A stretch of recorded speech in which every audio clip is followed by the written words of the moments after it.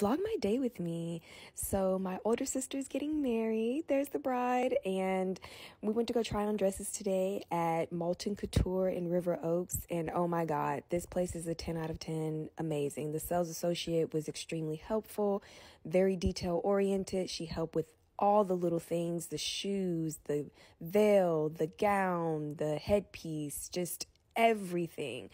Um, this place is just amazing. If you need a really, really nice gown or a wedding dress, this is a place to go.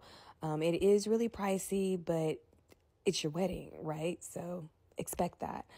Um, so yeah, so we tried on a couple of different dresses. There were some that she really, really liked.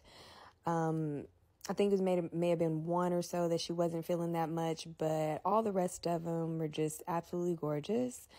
The train on this is beautiful. Look at that. Um, then we went to go try on some bridesmaids dresses. Um, I might get this one, not sure, still looking, but yeah,